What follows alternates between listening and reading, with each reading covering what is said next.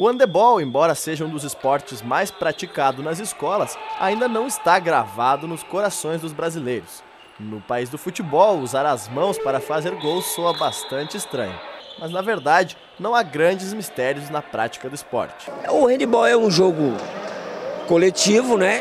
Onde jogam sete jogadores de cada lado na quadra, sendo que todas as equipes têm que ter um goleiro jogando. Regras básicas são pode dar três passos com a bola na mão, não pode ficar mais de três segundos com a bola, reter a bola na mão, pode bater a bola indefinidamente e pode bater, segurar e dar mais três passos.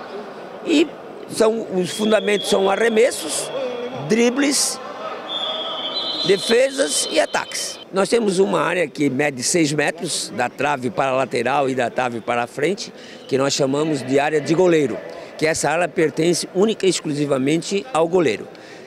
A 3 metros dessa área nós temos uma área de 9 metros, que nós chamamos áreas de linha de lance livre, aonde, desculpa, de tiro livre, aonde uh, se executam os tiros livres que aconteceram dentro desse espaço. Porque em todas as execuções de tiro livres, deverão os atletas adversários estar a 3 metros da bola. O Brasil já viveu bons momentos no cenário internacional do handebol. E depois de um período de estagnação, o momento é de retomada. Hoje nós estamos melhorando. Já foi é, é pior do que hoje. Hoje nós temos, na última Olimpíada, fomos no masculino e no feminino. E esta Olimpíada vamos só com o feminino. Perdemos para a Argentina o Pan-Americano no masculino e não conseguimos agora nos Jogos Pré-Olímpicos a classificação. Mas melhoramos muito. A seleção feminina no último Mundial, que foi realizado no Brasil, em São Paulo, o ano passado, ficou em quinto lugar. Então houve uma melhoria bastante grande. Quanto à arbitragem, nós temos é, quatro duplas do Brasil internacionais que estão constantemente apitando campeonatos mundiais e pan-americanos e assim por seguinte.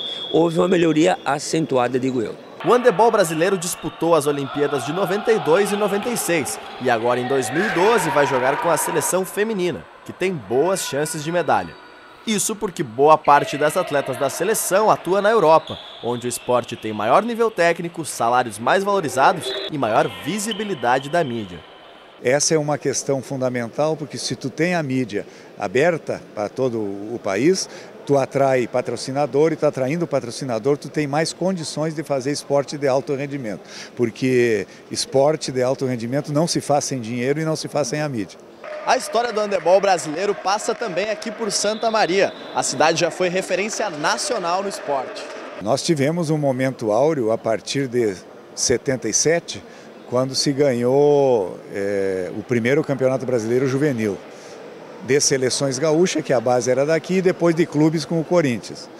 E a partir de lá, é, Santa Maria começou a se tornar uma referência nacional e conquistou é, uma gama apreciável de títulos, 12 títulos nacionais, 16 sul-americanos, né, e se tornou, vamos dizer assim, a meca do handebol brasileiro naquele momento. E aqui então se concentrava a base da seleção brasileira. Na onda do handebol nacional, a modalidade passou por um período de declínio também aqui em Santa Maria, por falta de renovação e investimentos. Agora, a cidade vive uma fase de renascimento e nova popularização do esporte. O fato da Confederação Brasileira ter trazido o ano passado para cá a Copa Brasil Feminina e esse ano o Campeonato Brasileiro é também um reconhecimento à história do handebol e também uma busca da recuperação desse tempo todo que nós perdemos depois de, de, da década de 80. O objetivo é que Santa Maria volte a disputar a Liga Nacional, composta pelos 12 melhores clubes do país, olhando sempre para a equipe olímpica de 2016. A jornada é longa, mas para quem já figurou entre os grandes nomes do handebol nacional, o caminho estará sempre aberto. Storm.